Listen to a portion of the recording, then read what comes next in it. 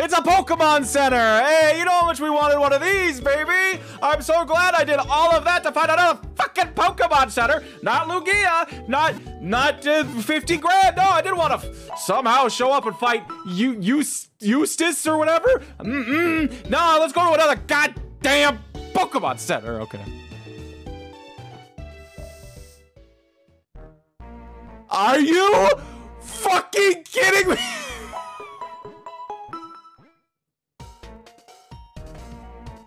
I can't breathe.